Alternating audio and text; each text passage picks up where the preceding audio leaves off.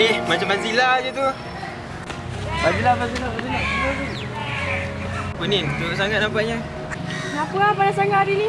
Dia zaman dahulu, seekor naga mengamuk kerana mutiara ni dicuri oleh Goku dan rakan-rakannya lalu membakar bumi. Nah, sebab tu cuaca jadi panas. Bukan macam tu lah. Cuaca yang panas ni disebabkan oleh pemanasan global dan kesan rumah hijau.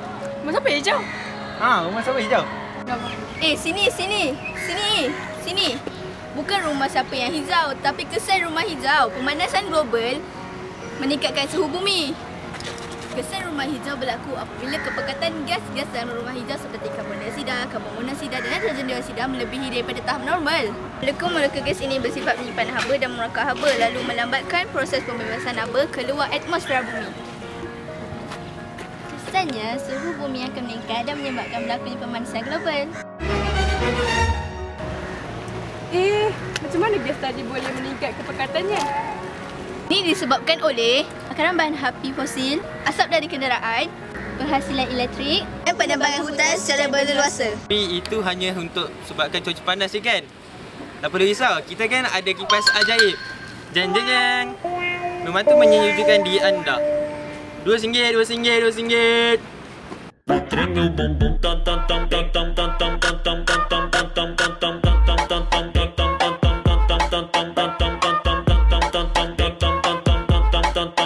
tam, tam. Autenticamente falando, ah. vai pro Pieripo, ah. vem pro Pieripo. Nós tá tipo como o Vavazinho.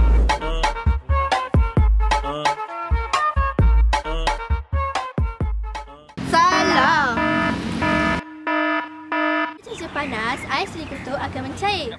Paras laut akan meningkat. Kawasan daratan akan semakin ditenggelami air. Iklim dunia berubah. Sumber manusia akan berkurang. Kita akan lapar. Lapar! Lapar! Ah, apa tu kita buat?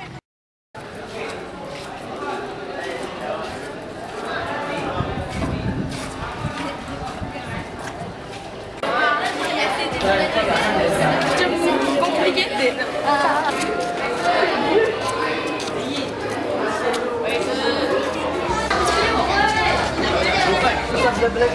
Saya tak faham lah apa itu masyarakat hendak kami. Tak faham kan? Okey. Tak, tak apa kami terangkan.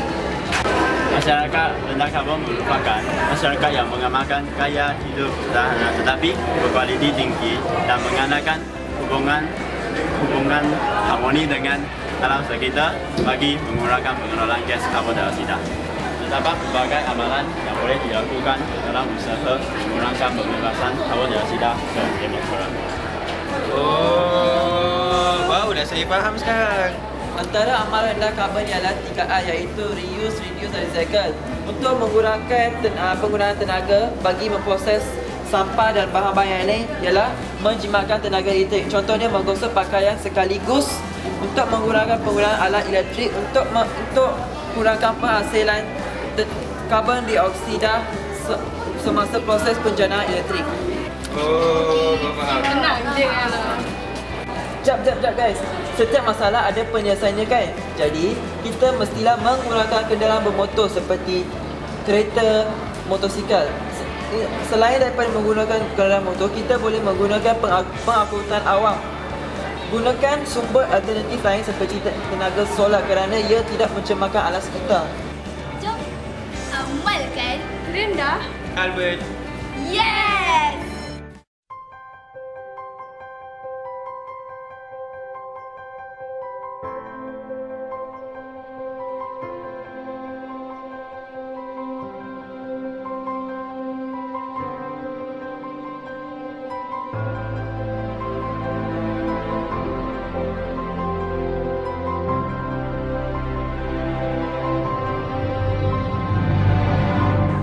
Now excuse me if I sound rude, but I love the way that you move, and I see me all over you now. Baby, when I look in your eyes, there's no way that I can disguise all these crazy thoughts in my mind.